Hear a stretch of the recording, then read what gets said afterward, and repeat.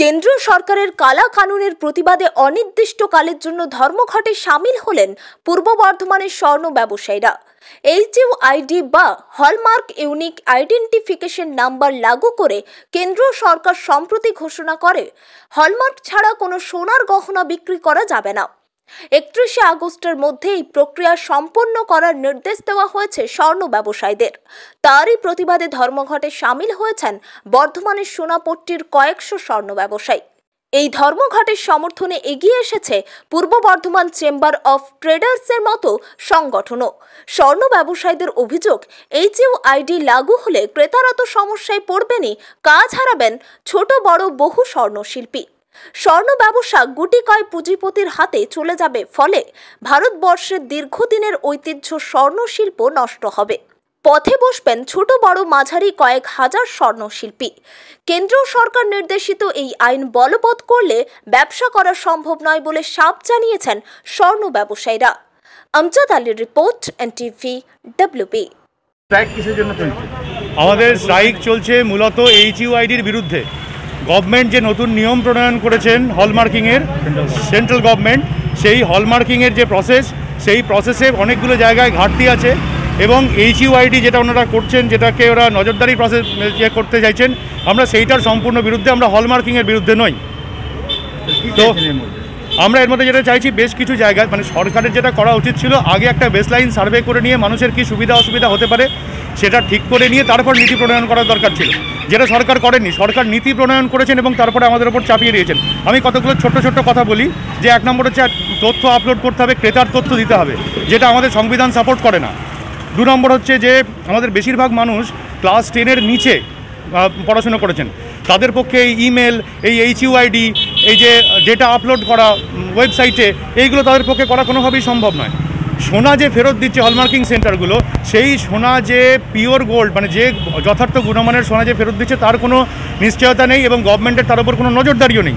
এই যে প্রচুর পরিমাণ সোনা এক জায়গায় জমা হচ্ছে, সেই সোনা যদি দুর্ঘটনা হয় ওই হলমার্কিং সেন্টারে তাহলে যে লোকেরা সোনা জমা দিয়েছেন টেস্টিংয়ের জন্য, এই যে, এই বিরাট পরিমাণ সোনা তারা ফেরত পাবেন কী করে? তাহলে এতগুলো লোক হ্যাজার্ডে পড়ে যাবে। আর এই যে টেস্টিং প্রসেস যেটাকে বলা হচ্ছে যে ফায়ার টঞ্চ প্রসেস সেই প্রসেসে প্রপারলি একটা গোটা সোনার গয়নাকে প্রপারলি জাজ করা কখনোই সম্ভব নয়। তাহলে যে পদ্ধতিতে গোটা ব্যাপারটা জাজ করা সম্ভব নয়, সেইটার উপরে বেস করে যদি হলমার্কিং দেওয়া হয় এবং এইচ এইচইউআইডি দেওয়া হয়, তাহলে সাধারণ যে খরিদ্দাররা, তারা তো বিপদে পড়ছেনই এবং যারা গয়না করছেন, ছোট ব্যবসাদার, তাদের পক্ষে কিন্তু এই কাজটা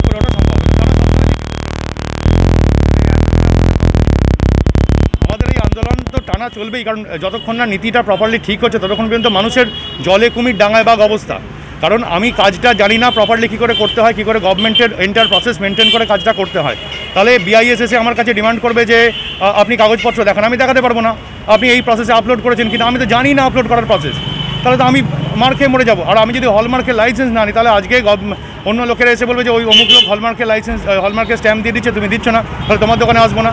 তাহলে হলমার্কের লাইসেন্স দিতে বাধ্য। এই যে গভর্নমেন্ট বলছেন চল্লিশ লাখের নিচে লাইসেন্স দিতে হবে না কিন্তু সেই লোকটা যদি লাইসেন্স না নেয় তাহলে সে ব্যবসা করতে পারবে না। একটা দোকানদার মানে একটা কারিগর সে আগে কারিগর কাজ করছিল তারপরে সে গুডউইল তৈরি হয় এবং সে আস্তে আস্তে দোকানদারে কনভার্ট হয়। তার সেই রাস্তা বন্ধ হয়ে যাবে সে কোনো দিনই একজন কারিগর আর দোকানদার হয়ে উঠতে পারবেন না। তাহলে তাকে লাইসেন্স দিতে হবে আর লাইসেন্স নিলে বিআইএস এর আহ, কোপে পড়বেন আর লাইসেন্স না নিলে সোনা করতে আসবে না। বর্ধমান বর্ধমান শহরে প্রায় দু হাজার ধরুন দোকান আছে। আর আমাদের রেজিস্টার্ড এ আছেন প্রায় সদস্য আছেন প্রায় সাড়ে তিন হাজারের ওপরে। আপনাদের মধ্যে একতা নিয়ে একটা সমস্যা আছে। দুটো ভাগে বিভক্ত হয়ে আছে। এই যে যেভাবে স্ট্রাইক করছেন তাতে করে দু মাস পর আবার একটা সিজন আসবে বিবাহের হ্যাঁ। তো তারা তাদের জন্য কি বার্তা দিবেন? না না এইটা তো প্রত্যেকেরই অসুবিধাজনক ব্যাপার।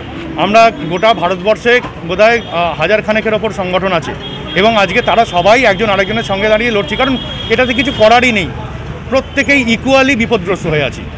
যে যে সংগঠনই করি না কেন। আপনার নাম আমার নাম সুকান্ত দে বর্তমান সদর স্বর্ণশিল্পী ওয়েলফেয়ার সমিতি অফিস সম্পাদক। সরকারের যে নীতি তাতে করে স্বর্ণশিল্পের স্ট্রাইক দিচ্ছে এবং আপনাদের যে সংগঠন সেই সংগঠন থেকে আপনারা পূর্ণ পূর্ণ সমর্থন করছি আমরা।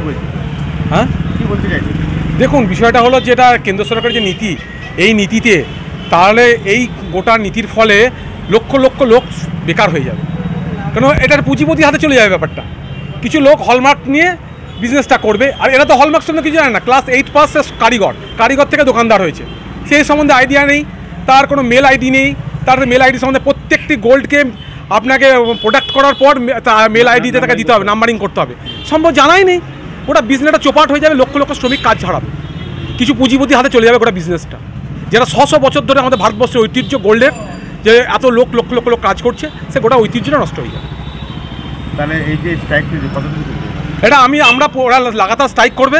আমরা সঙ্গে সঙ্গে পূর্ণ Purba Bardhaman chamber of traders all India chamber of ট্রেডার্সের শাখা আমরা টোটাল ওনাদের পূর্ণ সমর্থন করছি এবং আগামী দিনে যত আন্দোলন চলবে আমরা সঙ্গের পাশে আছি পাশে থাকব। আমরা পূর্ব বর্ধমান চেম্বার অফ ট্রেডার্সের প্রেসিডেন্ট আমজাদ হোসেন? আমাদের সমস্যা এই মুহূর্তে প্রথম কথা হচ্ছে গভর্নমেন্ট সেটা আমরা এখনও পর্যন্ত বুঝে উঠতে পারছি না যে কী করে সেটাকে মেনটেন করে আমরা ব্যবসাটাকে এগিয়ে নিয়ে চলবো। কারণ হচ্ছে গভর্নমেন্ট একটা নির্দিষ্ট নিয়ম করে দিয়েছে যে একত্রিশে আগস্টের মধ্যে সবাইকে এই এইচইআইডি মেনে নিয়ে হলমার্কিং সিস্টেমে ব্যবসা করাতে হবে।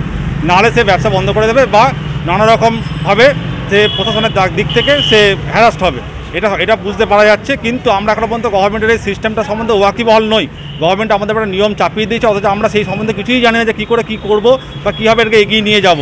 এই কারণের জন্য ক্রেতা এবং বিক্রেতার মধ্যে একটা প্রথম প্রাথমিক একটা সমস্যা তৈরি হচ্ছে। এই সমস্যাটার জন্য কিন্তু আলটিমেটলি এই ব্যবসা মার খাবে এবং বহু দোকান বন্ধের মুখে কিন্তু চলে যাচ্ছে। কি চাইছেন? আমরা চাইছি আমরা সব- সব সময়তেই আমরা যেহেতু স্বর্ণ ব্যবসায়ী দীর্ঘদিন ধরে আমরা স্বর্ণ ব্যবসা করে আসছি এখানে এক একজন দোকানদার রয়েছেন কেউ কেউ একশো বছরের ওপর ধরেও দোকান করে আসছেন। এবং আমরা চাই যে আমরা প্রত্যেকে বিক্রেতার সাথে ক্রেতার একটা সুসম্পর্ক রেখে সোনার গুণমান বজায় রেখে ক্রেতাকে সেই গুণমান সম্পূর্ণ রেখে তাকে গয়নাটা দিতে। কিন্তু এখন এইভাবে যে একটা বিভ্রান্তিকর আইনের দ্বারা যে একটা ভীষণ রকমভাবে বিভেদ সৃষ্টি হচ্ছে এর জন্য প্রাথমিক স্তরে কিন্তু মার খাচ্ছে প্রথমে হচ্ছে বিক্রেতারা। তারপরে কিন্তু ক্রেতারা সেখানে মার খাবেই এই গভর্নমেন্টের সিস্টেমের জন্য। আমার নাম স্বরূপ কোনার আমি বর্তমান সদর স্বর্ণশিল্প ওয়েলফেয়ার সমিতির সেক্রেটারি আজকে সোনার দোকানে এসে কি দেখলেন এখানে এলাকায়?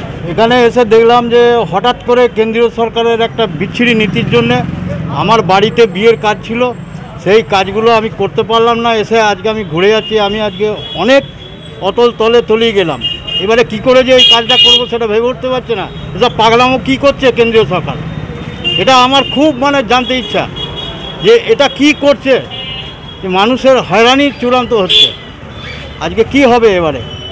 আমি এখান থেকে ঘুরে চলে যাচ্ছি। স্বর্ণশিল্পীরা কি বলল আপনাকে? স্বর্ণশিল্পীরা বলছে আমরা কি করব বলুন? আমাদের তো কোনো উপায় নেই। কেন্দ্রীয় সরকার যদি এরকম নীতি করে তাহলে আমরা কোথায় যাব? এর আগে তো একটা কালাকানুন করেছিল বহুদিন আগে মোরারজি দেশাই। বহু আমাদের এখানে আমি শুনেছি যে এখানে সব অ্যাসিড খেয়ে মারা গেছিল সারা ভারতবর্ষে। তাহলে আপনার বাড়িতে বিয়ে? হ্যাঁ। সোনা পাবেন কিনা কোনো গ্যারান্টি আছে? না কি করে আমি কোথায় যাব এখন? আমি কোথায় যাব বলুন? কারিগর ছাড়া তো কোনো উপায় নেই। ব্যবসাদাররা ছাড়া তারা কারিগর দিকে খাটিয়ে তারা দু- পয়সা তারা পায় এরাও পায়। স্বর্ণশিল্পীরা যেভাবে আপনাকে জানালো ওরা কি আলাদা করে ব্যবস্থা করে দেবে আপনার জন্য? যদি বাড়িতে বিয়ে আছে। কোনো মতেই কী করে হবে? এটা হয় সম্ভব নাকি? কোনোদিন আমি তো কোথায় এদিক থেকে ওদিক চারিদিক দিয়ে ঘুরে বেড়াচ্ছি। কিছুই করতে পারছি না। কি নাম আপনার? আমার নাম অনিল চন্দ্র। কোথা থেকে এসছেন? আমি একটু বাড়ি থেকে এসেছি।